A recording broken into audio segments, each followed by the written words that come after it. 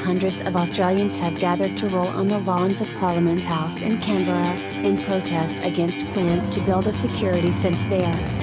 Under new anti-terror measures, a 2.6 meter barrier could soon block public access to the much-loved grassy space. The mass tumble took place on Saturday morning, after news of the event spread on Facebook. Lester Yao, who organized it, said he felt the architect had wanted the public to enjoy the grounds freely. While he had originally planned the roll as a gathering of family and friends, he was delighted when almost 3,000 people expressed interest in the unique protest via Facebook.